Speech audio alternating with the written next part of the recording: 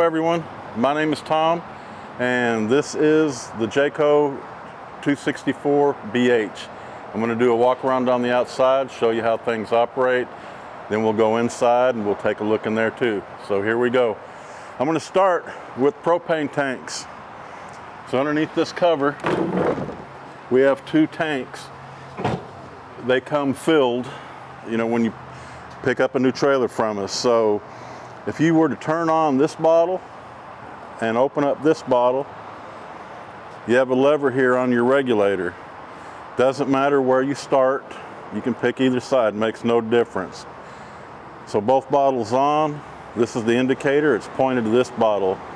So when you start using propane, it's gonna pull from this bottle first. When this bottle's empty, it's gonna pull from this bottle over here.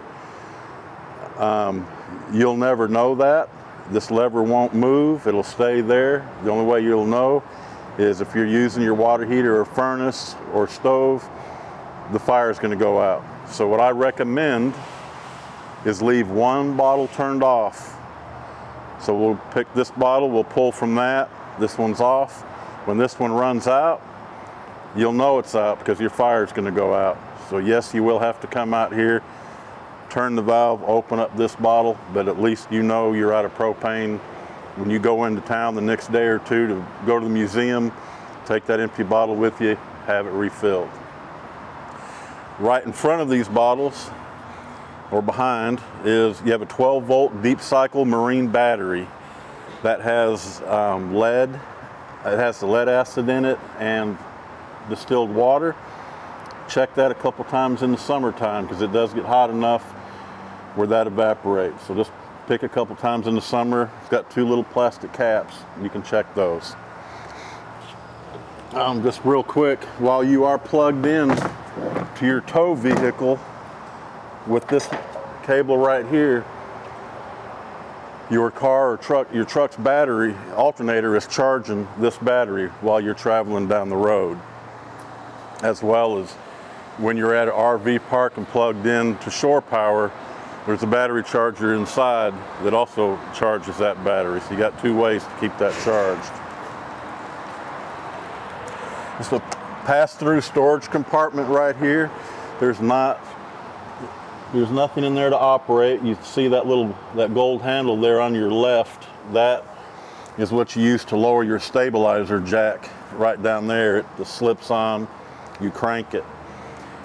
When the foot of this jack right there, when that hits the ground, give it about two and a half more turns, and that's enough pressure to stabilize it.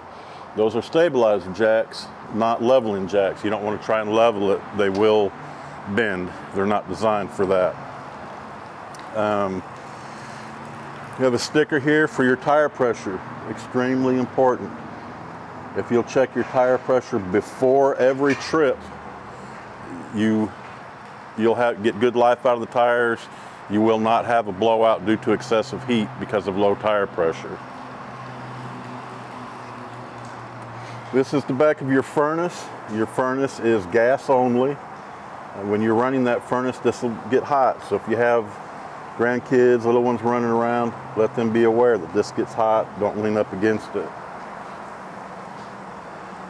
Right here, if you are going to camp off the grid, you do not have access to water, this is a freshwater holding tank.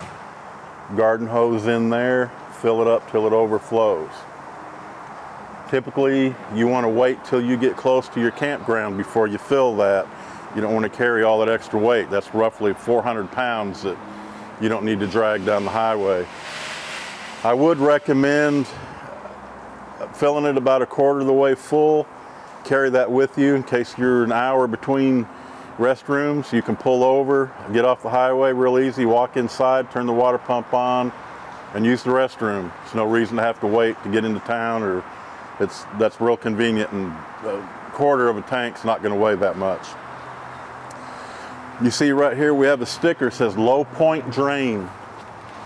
Underneath here you'll see that white valve and you just put your finger on it, pull it, and go like that. That is draining the water out of your fresh tank. And if that tank is full, that can take 30 to 40 minutes. It's a small drain to drain a big tank. You have two more of those valves. I'll show them to you when we get over there. RV park, and you have hookups. Your city water is going to screw in there with, with your standard garden hose.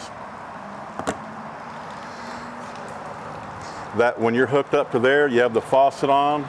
The city water pressure is going to be enough pressure to supply water everywhere in the trailer where there's a water faucet. This is your 30 amp cord. This comes with the trailer. It's about 30 feet long. Um, you might want to bring get an adapter. It goes from 30 to 15 amps. 15 is what you have at your house. So if you want to plug into your house, that'll keep your battery charged. You can run your lights, keep everything charged up while you're storing it. This is an outside shower. Um, you clean your feet off, your dogs, whatever you like. Hooked up to city water. This will work. If you are camping off grid, when we go inside, I'm going to show you a water pump switch. Have that on. This will draw water from your fresh tank that I showed you, and you can use that as well. Earlier, a couple of minutes ago, I was telling you that you had three drains. I showed you the one to drain the fresh tank. Right here are two more. Just same thing, you just open those things up. What this one does, drains the water out of your water lines. So you have a cold water line, hot water lines. Open those, drain that out. Drain your fresh tank by opening that valve. When we go to the other side, I'm gonna show you how to drain your water heater. So if you drain those four things, then it's winterized.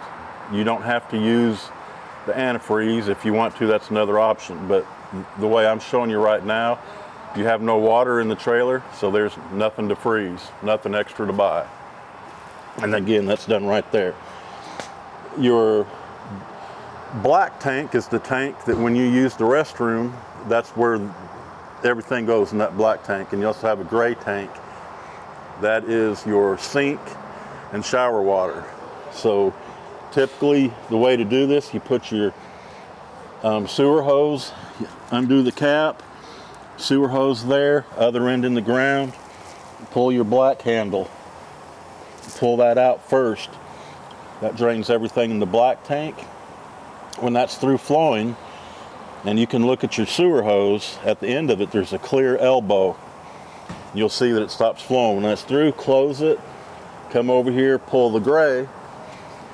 That's pretty clean water. It's just sink and shower water. That'll come back behind there, rinse out the pipe here, rinse out your hose so it makes it a lot cleaner when you put it away for storage. Push that back in, take your hose off, put it back here in the bumper to store it, put your cap on. Of course, before you use that, you're gonna pour your chemical in there. You got chemical, you pour chemical, you add water, then you use the restroom. You drain it, even if you're going to go home, you're not going to camp anymore. You still, after you close that up, you want to go in there and pour your chemical back in that toilet. Now it's ready to go for the next time. Um, one thing real quick, after you dump after you dump your black tank, right here you have a tank flush.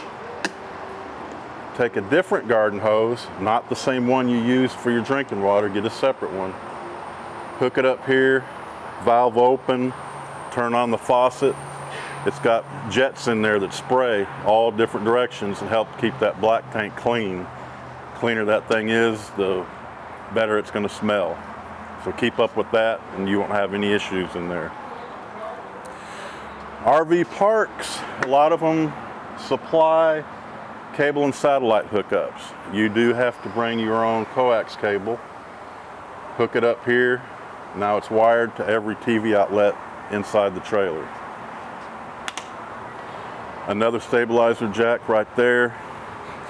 I was talking to you earlier about your sewer hose. You can push it inside this bumper and store it inside there. The clear elbow I was telling you about, that won't fit. You'll have to take it off the hose, put it in a Ziploc bag, and you can stick it up front in the storage area. This comes with a spare tire. This is a full-size spare tire. It's the same tire, same wheel that's on the ground. It's not a donut or anything. It's a regular full-size tire.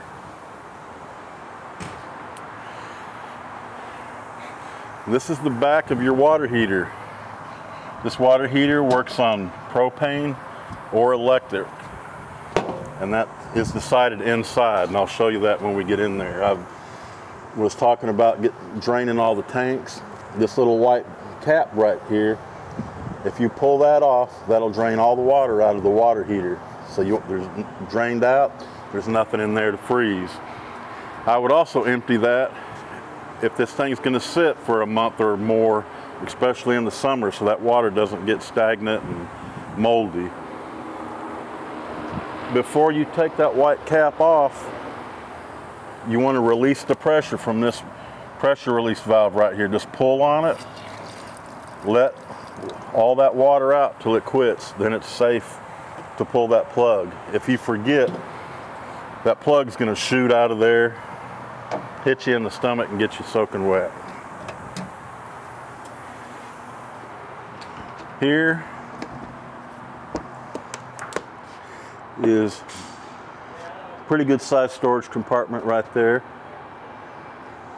That's underneath the bunks, which we'll look at when we go inside.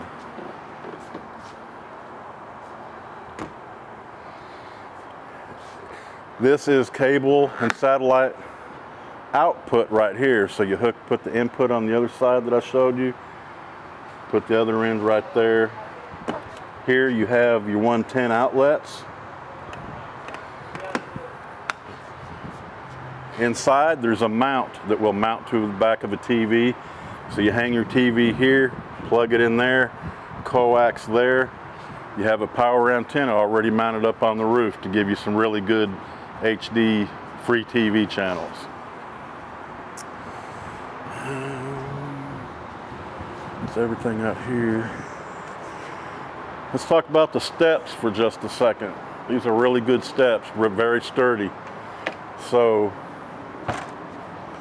when you get to your campsite, you back it in there, you get parked, get it level, you come over here, open up the door. This is what you're gonna see. So you're gonna open the door all the way. Like as a matter of fact, I'd even latch it over here with this latch. And I'll you'll see in just a second why this is so important. So now that's open, we know it, it's latched. Pull the blue lever, pull the steps towards us. Now if you notice right here, this bracket is very close to the door and very close to the screen door. So if you just reach in here and grab this thing and pull it open, it's gonna tear up the door, tear up the screen, this bracket's a lot stronger than that. It's gonna ruin your trip. So please, open the door all the way, latch it, watch for clearance. Let this down. So we're gonna look at the feet, see that they're on the ground. I'm gonna put my foot on it, make sure it's on the ground. So that's good. I'm gonna unlatch our door and I'm gonna watch this area right here. I'm gonna make sure this doesn't interfere with the door and just slowly close it and you can feel that there's no resistance. So we're good, ready to enjoy our trip. If there was interference or the feet are not touching the ground, so if there's interference, that means this is too high. So we can push this lever in and retract. You go down a notch or two, then set it back down. Of course, do both sides. Or if you need to extend it, pull it out. You can count the slots, one, two, three, four, five, one, two, three, four, five. That's even. We're on some pretty level cement. That's fine. It is not uncommon for you to have six here and maybe four here. It just depends on how uneven the ground is. And that's really, that's, that's it. Great set of steps right there. All right, let's do a little walkthrough on the inside here. I'll show you how everything works.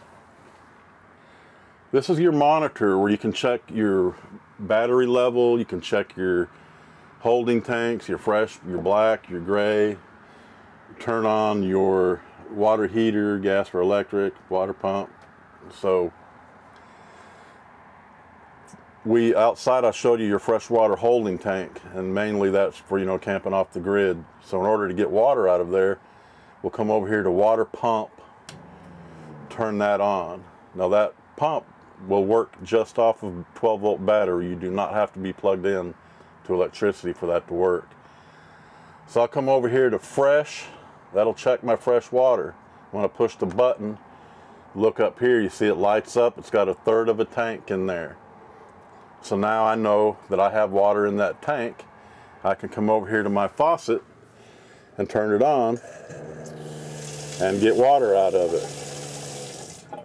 So also something you want to do with that, you just get to your campsite, you know later on you're going to take a shower and you want some hot water. So turn on your water pump or if you're at a campsite, you've got your city water hooked up so you'll also have water. But I don't want to turn my water heater on until I'm sure there's water in it. I don't want to burn up the element. So I'll come over here and I'm going to push it to hot. That's on the left. Turn it on. I see that I have water coming out. So that tells me I do have water in the water heater. So since I'm pl plugged into electricity, I'm going to turn the water heater on electricity. Water heater, electric. About 30 minutes, you're going to have hot water. Uh, if you have your one, at least one of your propane bottles open, you can also turn it on gas. That'll heat it up that much quicker. And then once it heats up, you can just turn the gas back off. If you run it on gas, so you don't have electricity, and you turn this on gas, and it does not light. So right now it's going to light automatically if your battery's good, if you have propane in the tank. So water heater on gas. There's a fault light up here. So if that red light comes on, that tells you it did not light. Well, why? No propane, didn't open the bottle. Um, so check those, one of those two things, that'll be the cure. I know you can't hear it through this audio, but I can hear the water heater fired up so I can hear that it's running off of gas. Plus the light did not come on, so we're good shape there. So I'm to go ahead and turn it off so I don't waste propane. So battery, it says battery right there on this first button. Um, earlier today, earlier at the beginning of this video, I told you this has a battery charger built in, and it does. And we're plugged into electricity. So if I push battery, it should light up all four of these lights. And that all that's going to tell you is your battery is being charged. I'll push the button. Yes, it lit up all four lights. All that means is the battery's being charged. That does not mean that the battery is charged. To check that, go outside, unplug it from shore power. You know our cord that we looked at outside earlier. Make sure you're not plugged into your truck. Come in here, press battery, and then whatever state your battery's in. Is it empty? Is it a third full? Is it two thirds? It'll light up that many lights and it'll tell you what kind of condition that battery's in. But remember, in order to see that, you have to unplug it from so it's not being charged. I showed you the fresh tank. We had a, about a third. Your black tank, it's two thirds full. Gray tank, that's your sink water and shower water. It's a third full. That's just clear, clean water we put in them so we can show you how this monitor works. And we'll, we always drain all that out for the customer so they're not dragging that extra weight down the road. Um, 110 plug-in right here. These have the blinds that you pull up and down. All there is to that is just grab them, pull them down, push them up. These are really sturdy, so you don't have to worry putting them up, driving down the road. It'll it either way is fine. They're not going to tear up. This one right here is another story. This is metal blinds, and you do want to have this up in the air when you're traveling down the road. It is, they're metal, and from driving down the road, it'll tear itself up banging back and forth. So you always want to travel down the road with that thing up. Okay. Microwave up here, this only works when you're plugged into electricity. Operates just like you have at like the one you have at home, but a little bit smaller. Light and a fan above your stove. And then your stove, fold this back, I call, this makes a good little backsplash too. On the stove, um, no lighter required. Turn the knob, line, line the flame up with the arrow, and then rotate the igniter. If you look right there, you can see they all spark at the same time. I don't have, I turned the propane off when I was out there earlier, but other than that, it would light. Your oven, same way. When I rotate the igniter, your pilot light's in the middle, all the way at the back, and you can see it spark. Only thing different on that, when you turn this to light, you do have to hold that knob in to light the pilot light. Then once it lights, just let go, set it to your temperature. Unlike your um, gas ovens at home, when you turn this off, also goes off the pilot light. So every time you go to use your oven, you have to start over and light that pilot light. Refrigerator, great refrigerator. It is 12 volts only, no propane, no electricity. Power button right there, got your blue light on, that tells you the refrigerator is running. This is a little picture of your refrigerator. It has the door colored in. So if I press that, five lights up. That's the coldest. So if you have your milk in there and you want to turn the temperature so it's not so cold, hit that, come over here to minus, you turn it down to four, turn it to three, same thing on your freezer. You want to adjust it, get the light on under your freezer, and then you can set your temperature. The moon is if you are camping off grid, so you're not plugged into any electricity, you'll put it in energy saving mode and it's the refrigerator will not cycle on and off as often. Um, it'll save battery power. But great refrigerator, really it's you can run it going down the road, it's safe, you don't have to worry about gas leaks, none of that type of stuff. Right below it, this is your fuses and your 110 breakers. So you got 12 volt fuses there, your 110 breakers there. So let's say, well, your air conditioner's not working. It's going to work off of electricity only. You'd come over here to look at this to make sure one didn't get tripped. You just pull it all the way back and then back on. That resets it. Let's say your water pump or lights, those are 12 volt. Right next to the fuse, there's a little red LED light that'll light up and that'll tell you which fuse is burned out. Real, real nice, real convenient, easy to get to. In the, not much in the restrooms, kind of, there's only one thing really to operate. You have your light switch here on the wall for your light. And then you have on and off buttons for this fan. Just pull down on that handle, twist it, That'll lift the lid on it for the exhaust fan. Your toilet, to flush it, just push down on the foot pedal. That puts water in it and then open it up. And you want to hold that thing open for a little bit after you flush it. The more water you have in there, the better off you are. And again, don't forget your chemical in there. And that's only at the beginning of your trip and then empty it when you get ready to go home. Um, your two bunks outside, I showed you that big storage compartment. You can also get to that from in here. This is on hinges. You can lift that up and get to it. And then your air conditioner and heater is operated from this panel.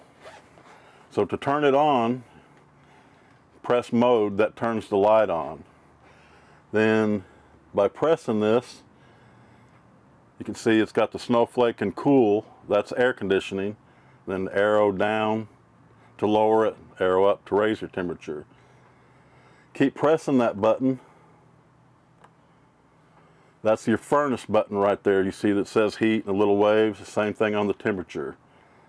And that's how you, you know, whichever you want, air or heat, just press the mode button until it lights up. Keep pressing it. Did it? Until you see the little off right down there in the corner, then that everything's turned off. You have a, we talked about TV outside. Um, there's a mount you can get, mount your TV here. Coax will go here, and outside I mentioned antenna, power antenna. You turn that antenna on, press that button. You got your green light on, antenna's turned on. Off, no antenna. If you do hook up to satellite or cable, you need to have this in the off position where it will not let the signal pass through. You won't get any picture on regular TV. And then you've got your AM, FM radio. Um, you have a couple sets of speakers. You have zone one, zone two. Zone one is inside, zone two is outside. And it is possible It is possible to have on both zone one and two at the same time. So be careful. You don't want to be in here jamming out your favorite music, not realizing the outside speakers are on. You're going to have everybody knocking on your door wanting to come join your party. But again, you can have them on at the same time if you choose to. Okay, moving on, um, just let you know real quick, this converts into a bed real easy. Um, the easiest way is to have one person sit down on each side, wiggle the table, lift it up. These two poles will come loose. You can store them underneath the seat. And this will sit on these little pieces right here. You have them at each corner. So this table just sits on the, that lip right there. Take your cushions, push them together, and that's your mattress.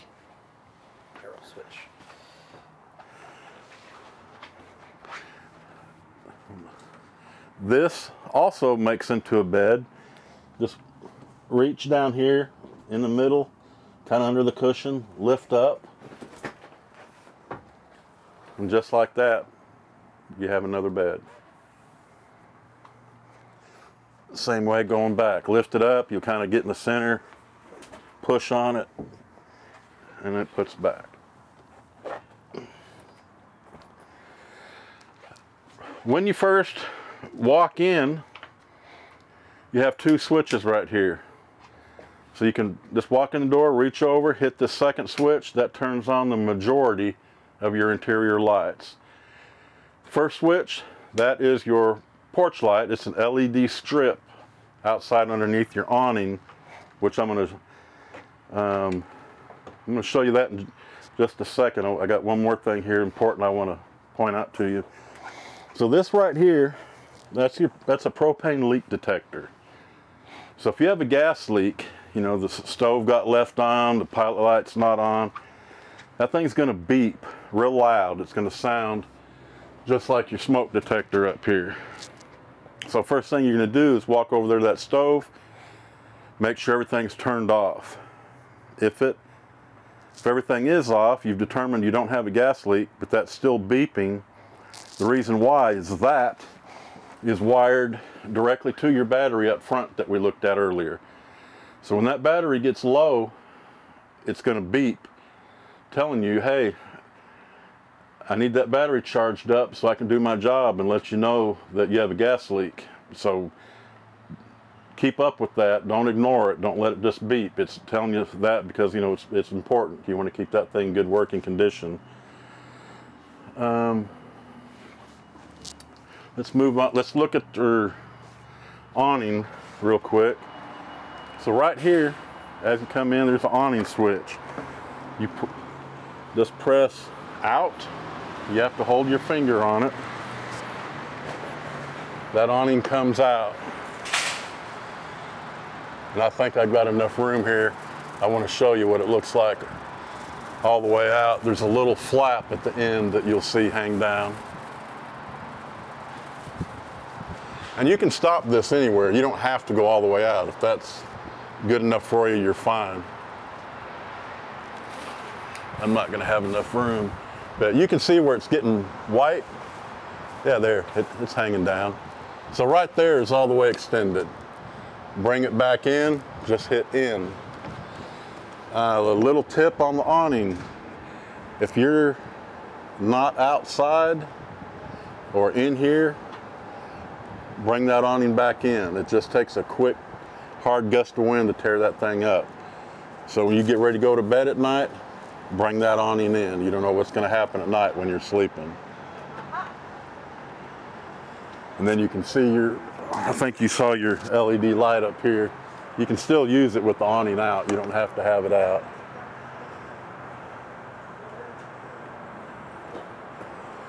Well, let me show you just a couple things here in the bedroom.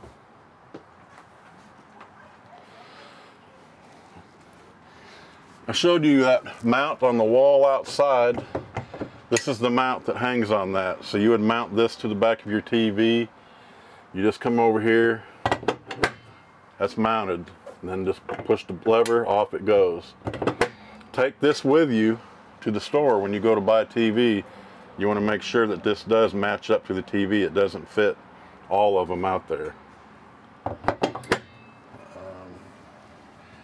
this is an emergency exit window, but you can still use it like a regular window. It's not going to fall out if you open it like an airplane. So you just hook that in there like that. Get a nice breeze going through here. You have a switch right here this is for kind of, I call it just a little night light up there, that blue light. And then last, you've got some storage underneath the bed right here for pillows, blankets, extra stuff like that. And uh, solar? Do we need to go over that? Yes, yes. One, one last thing I want to show you is the solar panel monitor right here. So you do not, this doesn't turn anything on or off. This is just a monitor that tells you what the solar panel is doing to your battery. So right now, um, you know, we're plugged in, so it's being charged, so it's going to give us that reading of 13.7. And to see where it's really at, we'd have to unplug. But you can hit this top button. That'll tell you, you know, it's drawing 0.1 amps. Um, that's what it can put out. The, the button below it right here, this is battery type. So right here, it says AGM. So right now it's set up for AGM batteries. Um, AGM, the liquid batteries, the acid batteries like you have up there, they charge at a different rate. So I'm gonna hold this button down because it's not on the right battery and it's blinking. I'm going to push the button. Now it says wet. That's the battery we want. So we're going to leave it sit just like that. You cannot run anything in here off of your solar panel. It doesn't put out enough power for that. The only thing the solar panel does is charge your battery. So if your battery was dead and you pulled it out in the sun, that's not enough power to run lights or a pump. You have to let that solar panel charge your battery and it's like a trickle charger for five or six hours then it'll give enough power where you can start running lights and things like that And that's it. I hope I help you out. If there's anything else we can do for you, don't hesitate to call. Thanks for watching our video. If you have any questions, be sure to drop a comment below. Or if you have any suggestions on content you'd like to see, we'd love to hear about that. Go ahead and give us a like and subscribe to our channel. Thanks again from Vogt RV.